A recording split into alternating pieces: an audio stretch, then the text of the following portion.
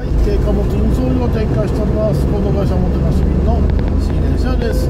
えー、っとですね今回もですね弊社のお試し体験に来ていただいた、えー、まゆみさんのインタビューをですね、えー、お送りします。まゆみさんよろしくお願いいたします。はい、よろしくお願いします。はい、ではですね今回は、えーなぜ個人事業主になるのかというような内容です。よろしくお願いいたします、はい。えっ、とあんまり難しいことは考えてなかったんですけど、なるほどですねはい。えー個人事業主っていう意味では、ええ。っ、と前に保険屋さんをやってたので、ー、ほー保険さん。そうです。おこれもなんか会社員のような個人事業主、うん。はいはいはい。そういう感じだったのうんうんで、でやっぱりそうだなあの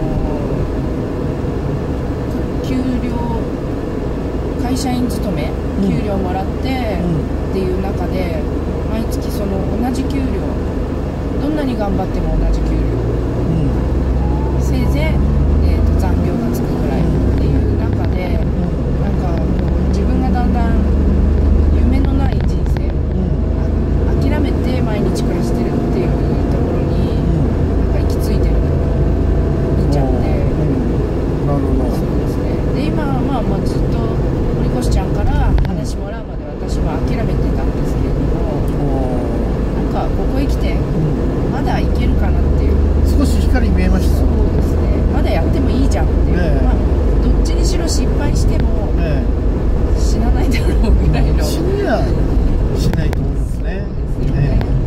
そうだから、ええうんまずやってみようっていうところかな。なるほどですねはいで個人事業主にああなるんだなっていう逆になんか後からついてきたというおおー感じですね。なるほどですねはいわかりましたはありがとうございます、い、はい、ありがとうございます。じゃあまた次回よろしくお願いいたします、はい、よろしくお願いします。